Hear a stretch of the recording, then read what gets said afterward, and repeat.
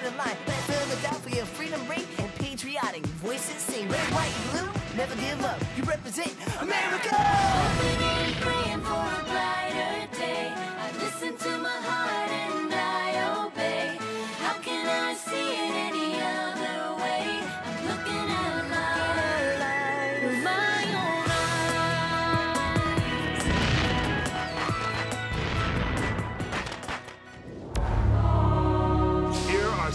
Exciting scenes from today's episode of Liberty's Kids. We are threatened by an excess of democracy, the tyranny of the mob. Our current system of government has turned this country into the disunited states. We've had four years of government under the Articles of Confederation, and they just don't work. If you think I'll sign a constitution that takes away my state's rights, you're plumb crazy. It's not a country, it's a circus.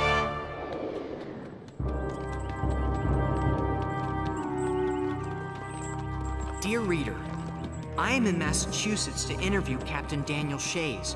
He and a lot of other soldiers returned home to their farms when the war ended three years ago. But times have been hard. Farmers can't pay their debts, and now the government's closing in to take their land. You're throwing me in jail because I can't pay my debts? I borrowed that money I owe because the government asked me to, so I could buy more grain to grow more food for our army and the French army. Ah, take your hands off me, sir. Now that there's no more soldiers to feed, I can't sell my produce. And instead of helping me who helped you, you make me sell my farm to pay my debts. And when the money from the sale doesn't cover my debts, you throw me in a cage. Me and darn near every other farmer in Massachusetts. We risked our lives fighting for your freedom. This is not justice. Let this country! We were soldiers. Order! Order! Stand for this. These, James, are what you describe as the fruits of the Continental soldier's courage. Let me go. And the state's answer to our honest petition is silence. Or just about. This won't stand! We must act! If the courts mean to take away our farms and throw us in jail, maybe we have to close down the courts any way we can.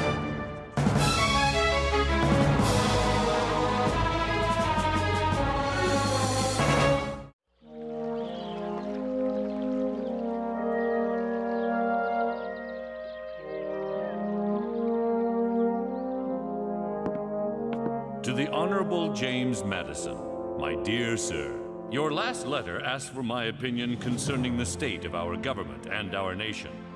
Both, I fear, are drifting towards certain collapse. In Massachusetts, Daniel Shays, a former captain in our army, has led an attack by farmers on a federal arsenal because the government took away their land. We fought for this country. Farmers in Maryland have mobbed a courthouse in an effort to destroy tax records to avoid paying taxes they consider unfair. We do this for freedom! We want our freedom!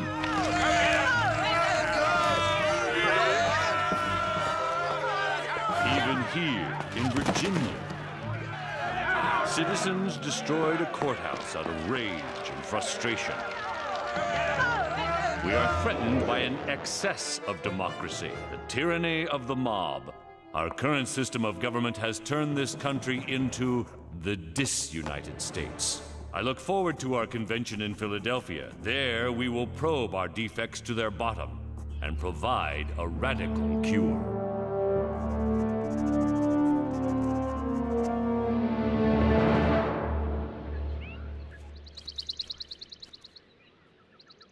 Well, General, enough delegates have arrived to begin the convention. The eyes of the world are upon us. Frankly, I've come to the conclusion that unless we throw out the Articles of Confederation and start over, we will not be able to hold our nation together. This is good news, Doctor. Madison and I intend to use this convention to rebuild the Republic based on a central government stronger than the states. May I count on your support? You have my word. Did you hear that? They don't just want to fix the Articles of Confederation, they want a whole new constitution. Everything's going to change. Maybe it will, and maybe it won't. There are 13 states that have to agree, and barely any of them have abolished slavery. What's a new constitution going to do about that? With your permission, Doctor, I'd like to nominate you to be president of the convention. I'm grateful, General, but the job belongs to you alone. There's not another man in the country who commands half your respect. You're the only one who can hold everyone together. United we stand, divided we fall.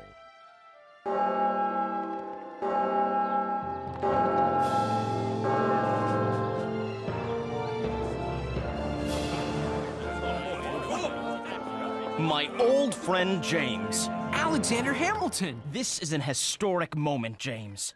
As important as when we agreed on the Declaration of Independence. We've had six years of government under the Articles of Confederation, and they just don't work. So, what do you think should be done? You tell your readers that Alexander Hamilton of New York believes in a strong central government. Connecticut is here to fix the Articles of Confederation and nothing more. Make no mistake about it, Maryland won't let any of the big states push us around. Slavery is not the issue at this convention. But some states have already abolished it. No southern state ever will. Every man here knows the importance of slavery to the southern economy. You have my word, we will be united on it. What do you think so far? I don't know about you, but I don't see how they'll ever agree on anything. We'd better go in.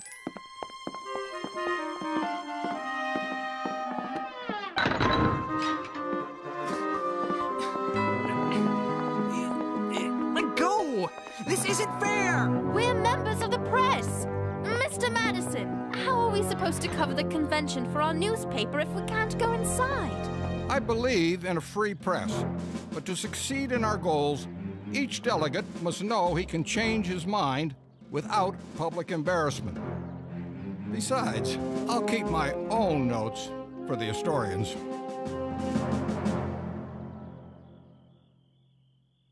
I'm sorry, but James Madison is right. The delegates need to be left alone to do their work. But I know if I tell you what's happening, you'd never write anything you shouldn't. Not in a million years!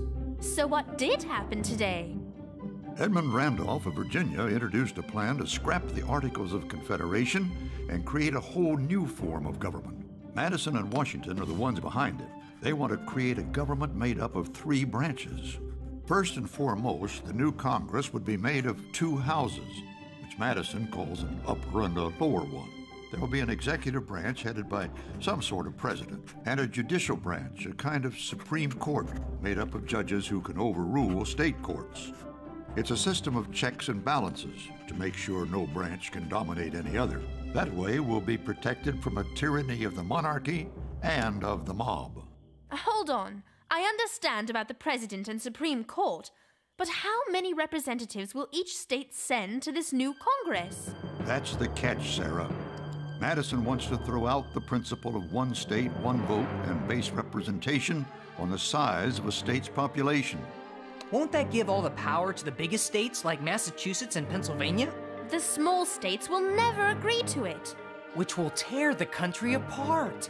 I only hope the delegates have as much sense as you do, because if they don't, it's going to be a long, hot summer in Philadelphia.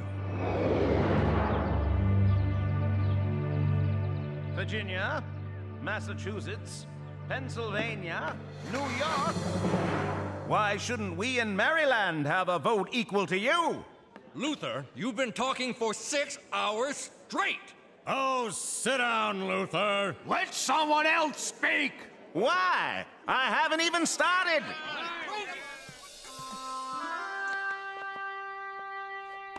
Maryland's important too. We have strong, good men. Men who've helped build this nation as much as anyone else has. And we have crabs. Tons and tons of Maryland crabs. Gentlemen, Have you ever eaten Maryland crabs?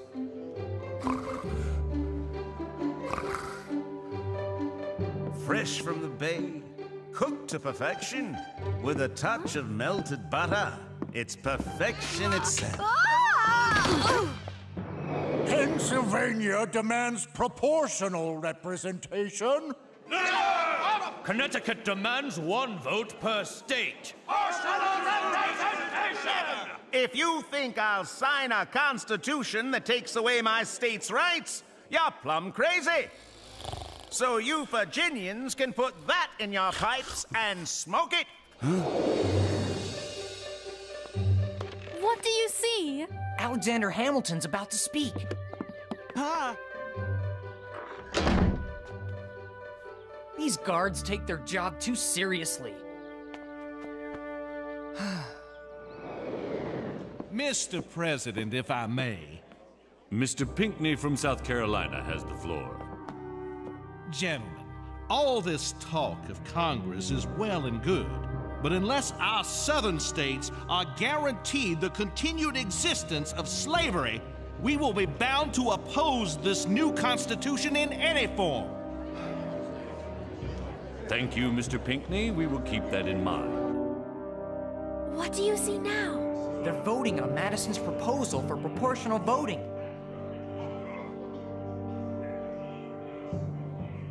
They're deadlocked. Uh-oh. Absolute not going to Bad idea. Mr. Sherman, can you tell me what's happening? We've come to a full stop. Full stop? Ah, this convention's falling apart.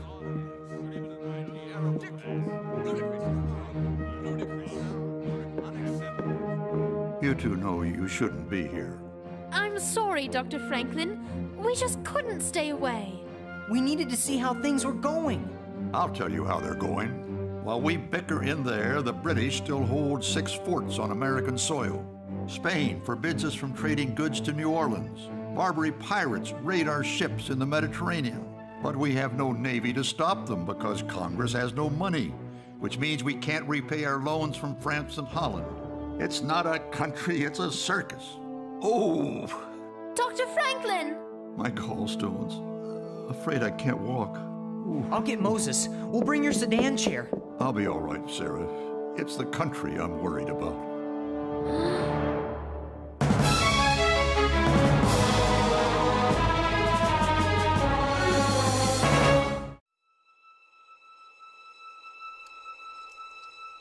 Dr. Franklin? I thought you might like some soup. Thank you, Sarah. Put it on the table there, please. How are you feeling? Better. But but stay a moment. You're looking very happy today. Oh, Dr. Franklin, I'm so happy. Mother and I have heard from Father. He's bought land in upstate New York. He'll be arriving here any day now. Splendid. You'll go with him to New York? Certainly.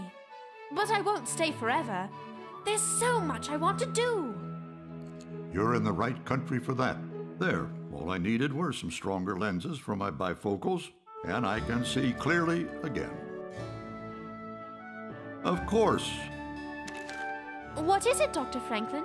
the delegates elected a grand committee to settle the voting issue once and for all.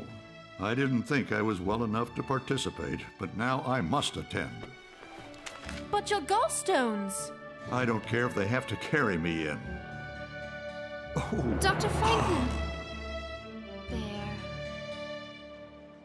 The large states are quite different from each other. They will act on their own interests, not their size. To claim that the large states will dominate the small is a false objective. Gentlemen,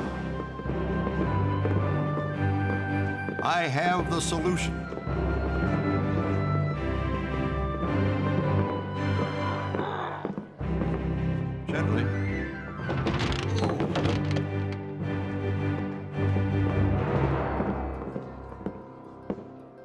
Just as I wear bifocals with two kinds of lenses, we have two houses in our Congress. Let the upper house abide by the principle of one state, one vote, but let the members of the lower house be elected by proportional vote. It would be a House of Representatives. That sounds reasonable. I can live with that. Good idea. Dr. Franklin, you are a genius.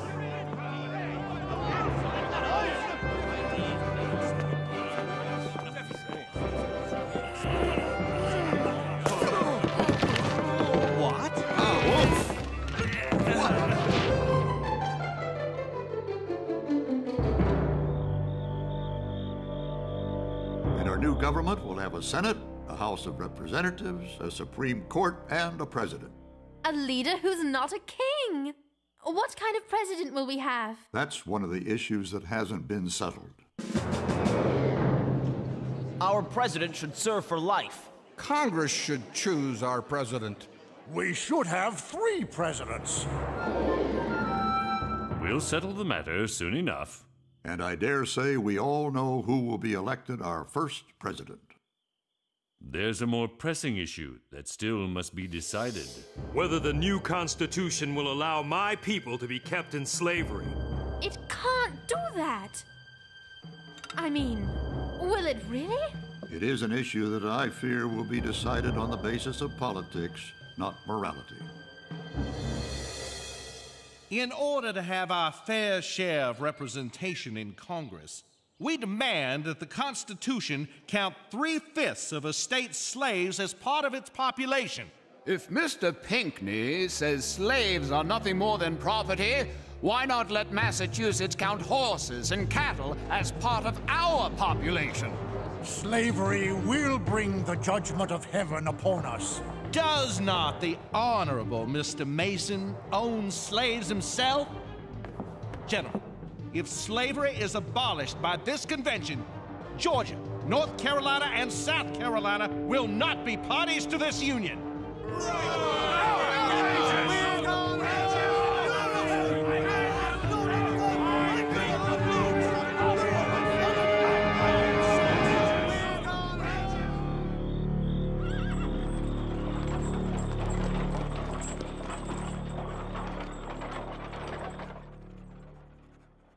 You're up late. Are you all right, Dr. Franklin? Fine, just couldn't sleep. Me neither. Moses, you know what I think of the practice of slavery. I, I despise it with every bone in my body. It's not going to be abolished in the new Constitution, is it? I'm sorry, Moses. The delegates have reached an odious compromise between the North and South. It was the only way to save the Union. How long will this union last? A country that keeps so many of its people in bondage. I'm a peace loving man, Ben, and I'm afraid of the price we might have to pay to win freedom for everyone.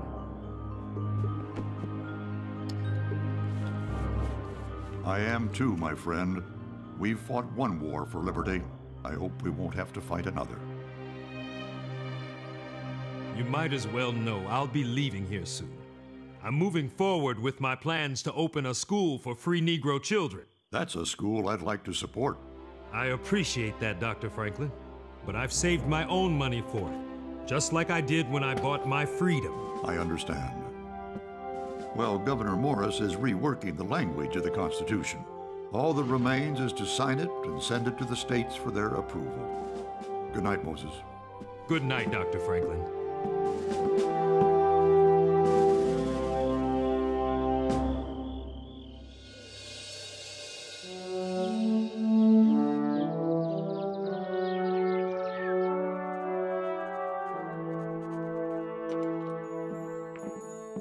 See that sun on General Washington's chair? I've sat here since May asking myself if that sun is setting or if it is rising. Today I have the happiness of knowing that it is indeed a rising sun.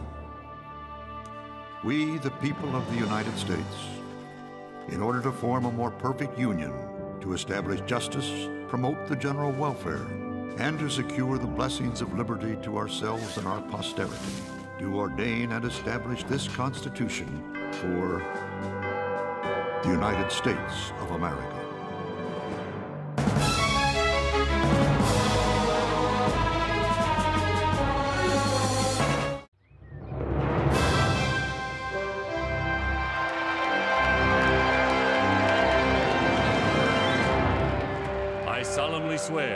Will faithfully execute the office of the President of the United States and will, to the best of my ability, preserve, protect, and defend the Constitution of the United States. So help me God. It is done. Long live George Washington, President of the United States!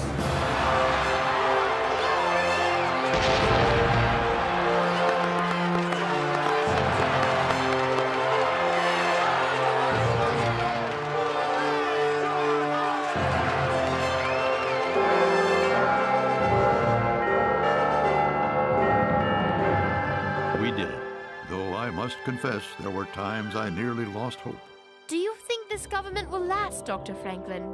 It will as long as the people want it to. There are going to be some hard challenges ahead. I'm afraid you're right, Moses. Nothing man does is perfect. But all in all, the world has never seen anything like it. I still can't believe it. George Washington, President of the United States of America. Father of his country. Suddenly, anything seems possible. As long as we stay united. United we stand, divided we fall. But remember, the Constitution doesn't guarantee happiness, only the pursuit of it. You have to catch up with it yourself.